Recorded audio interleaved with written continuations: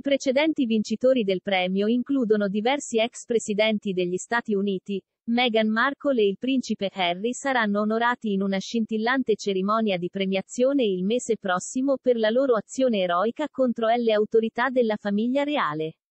Il 6 dicembre il duca e la duchessa di Sussex riceveranno il Robert F. Kennedy Ripple of Hope Award, ideato per lodare il lavoro di leader esemplari. Kerry Kennedy, che dirige la Robert F. Kennedy Foundation ed è la nipote del defunto presidente John F.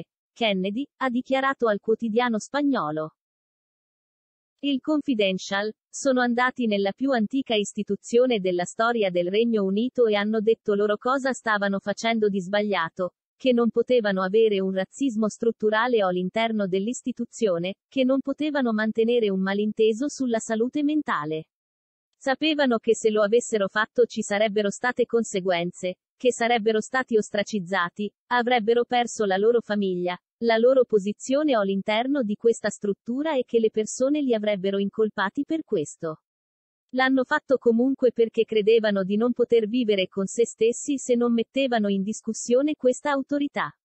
Penso che siano stati eroici nel compiere questo passo.